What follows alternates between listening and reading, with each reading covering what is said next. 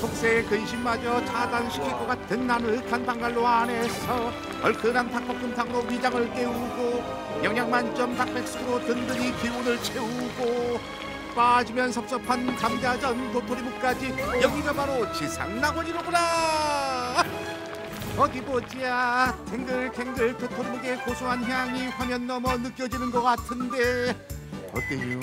맞나요? 응? 음, 맛있다. 아 맛있겠다. 갓 튀겨져 나온 감자전을 가차 없이 쫙쫙 찢어서 한입 가득 먹으면 아 닭볶음탕도 너무 맛있어요. 그래요? 감자가 되게 부드러워서 식감이 되게 좋네요. 겉은 바삭하고 속은 쫄깃해요. 오빠 속 쫄? 이 중에서도 센터를 차지한 메뉴 요요 닭볶음탕 되겠다 엄청 크다. wow. 눈 빠지겠어요 국물 많죠? 국물 네, 맛. 저는 국물을 좀 좋아해가지고. 국물 많다. 음. 음. 여가지고 좀 이거 시원하려나? 국물이? 근데 다른 집이랑 좀 다른 게 많아가지고 매운탕이라고 할까? 문침 도는 비밀은 잠시 후에 여기 보시면 미나리랑 깻잎이랑 대파가 있거든요. 네. 이거랑 같이 살코기랑 어울러서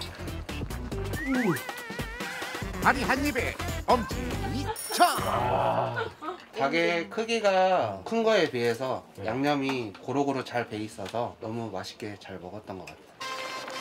닭볶음탕과 어깨를 나란히 하는 이 집의 또 다른 대표 메뉴 바로 닭백숙 되겠다 그치?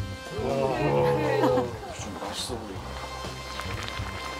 다리 하나로 그릇을 꽉 채우는 대범한 크기 입안을 가득 채우는 푸짐함과 진한 풍미로 식객들을 사로잡는다고 어, 진짜 부드럽다. 약간 퍽퍽할 수 있는 데인데 어, 진짜 하나도 안 퍽퍽해요. 국물이 구수하다 그래야 되나?